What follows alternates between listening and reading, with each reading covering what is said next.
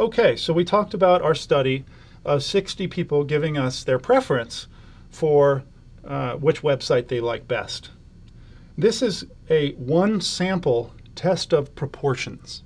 That's its formal name. And you can see that I've commented that section here with uh, two number signs and, and that name. A test of proportion is where you're looking at a proportion of responses.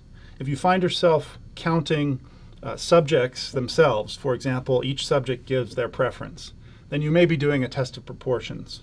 It's called one sample because we have a, a sample of their preference. So on one variable, preference, uh, we have proportions, whether they liked website A or B. So that's a one sample test.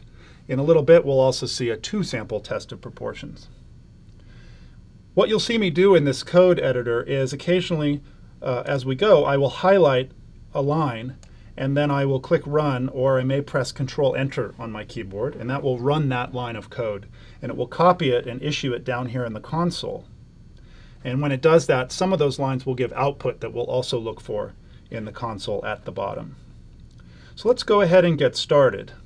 We're going to load in prefsab.csv, which is the preferences for website A or B. So as I highlight that line and click run, you can see that there's no feedback other than it tells me it executed the line. If there were errors or warnings to any line I execute, they would show down here in the bottom. Now it's sometimes nice to then view what we've just loaded. So we say view prefs A and B. And when we do that, we can see that we have a column for subject and a column for pref. Pretty simple. 60 subjects, each giving us their preference, whether they preferred website A or B. Now we obviously can't tell very easily what differences might exist as we look at just a table like that. So close that and we'll keep going here. One thing that we're going to do as a matter of good practice is we're going to recode subject as a what's called a categorical factor. Uh, variables all have different types. You can think of variables as the columns we just saw. And a categorical variable, also sometimes called a nominal variable, uh, is one that just has categories. Subject here is already coded as a number. We need to tell R actually it's as if it were a letter, for example, as if it were a name. And that way it's considered a category and not a numeric uh, response variable. We can look at a summary of the data then. We can see that there are 54 different levels of subject uh, beyond the six shown here, so, so for 60 total. And then there are 14 responses of A and 46 of B. Well, that would seem like people certainly preferred B more. But again, the question statistically is, is that preference that we see there uh, significantly uh, different? Uh, in, in fact, what we're asking in a one sample test is, is it significantly different from, from chance? Uh, if, if 30 people liked A and 30 people liked B, we'd obviously say there's no difference. How far away from that uh, chance point do we have to get before we say there's a significant difference? We can also plot uh, this very simply here with a plot command. Notice the dollar sign here. That tells us that we're asking for within prefs A and B the pref column.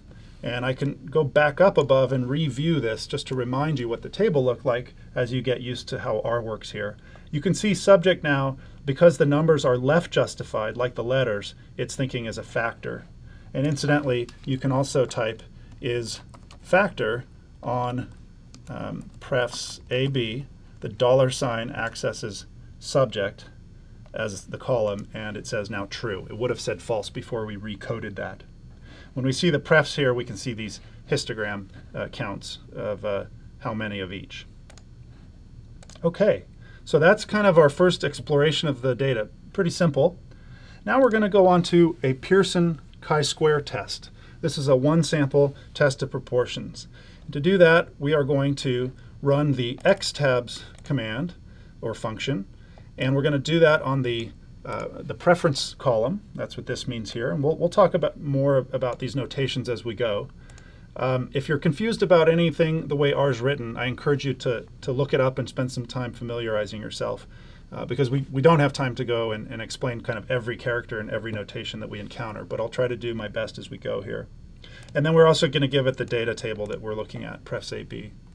So as we as we run that, what that does is it it creates uh, a set of counts that can be analyzed with a chi-square test. And when we just uh, execute prefs by itself, it shows us what's in there. You can see again we have 14 A's and 46 B's, and then we run the chi-square test. So here's the output. Chi-squared test for given probabilities. The data is in prefs. Uh, chi-squared, that's, that's an x, but it's the chi symbol, the Greek chi symbol, uh, is 17. That's the value of the statistic. The degrees of freedom are 1, and the p-value is very, very small, near 0. Well, what does all this mean? Each statistical test has a statistic associated with it. Along with chi-squared, we'll see the t-test, the f-test, and perhaps some others. And those, the value of that statistic is uh, related to the distribution that that statistic is calculated over, the chi-squared distribution in this case. What's important for our purposes is just to understand what it means if you get a significant result and how to write that. Uh, this result uh, is in fact significant because the p-value is less than 0.05. And that's traditionally taken to be the threshold at which we would, below which we would pronounce uh, a result statistically significant. So clearly we're very small here, much less than 0.05. The degrees of freedom are a parameter into different tests. Many have just one degree of freedom, some have two, like the F test, and those are part of what we'll report. If you're interested in how degrees of freedom are calculated, it's different for each type of test, and you can look up uh, that level of detail uh, further online. So at this point we know there is in fact a statistically significant difference in the preferences for website B, the redesign, over website A, the older site, which I suppose we should hope if we went to the trouble of designing a new site. How do we report this statistic? Well, let's go back to the glassboard and I'll show you how we would write it.